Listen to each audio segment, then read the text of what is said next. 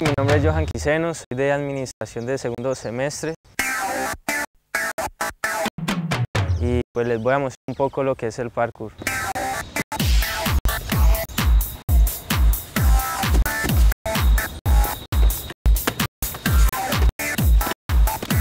El parkour llega aquí a la universidad gracias a unos compañeros de semestres avanzados como Pablo Añasco, Micao y otros compañeros y comienzan a saltar, a practicar lo que se ha hecho en, en la calle. Luego la gente comienza a verse lo que hace y comienza a unirse más con nosotros. De ahí forman grupos como Urban Runners, Familia Aire, Les Street Parkour, Crash, B7 y, y otros más que hay en la ciudad. En la universidad por ahora todos formamos una familia.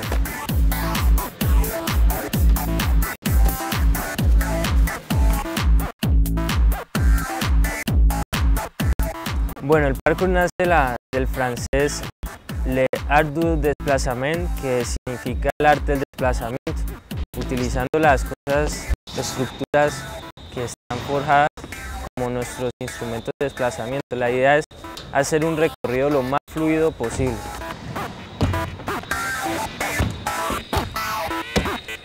La Universidad del Valle lo hacemos utilizando lo que es el coliseo, eh, utilizamos gradas, el muro del nombre del coliseo, estamos entrenando también en la FAI. Y ya lo que es el trote normal, también usamos mucho el atletismo para el cardio de nosotros.